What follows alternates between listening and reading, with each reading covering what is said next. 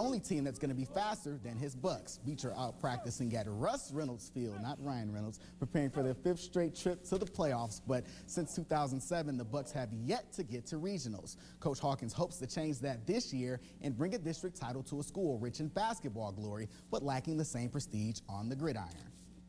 You know, we got a lot of basketball trophies here, but not many football trophies um, in the last 20 years. And, you know, it's an opportunity for us, you know, to put some in that trophy case.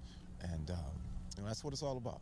It's our third year, fourth year, going to the playoffs, but not getting as far as we wanted to the championship. And we were hungry for it.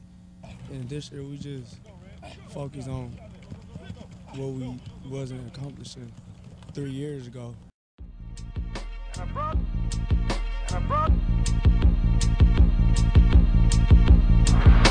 brought